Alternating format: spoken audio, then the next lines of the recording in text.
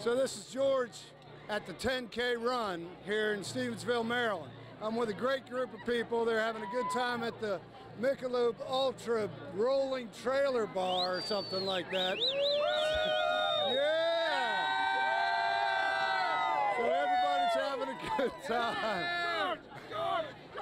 Don't forget, don't don't forget to wait a minute. Don't forget to come out next year and come to the run again.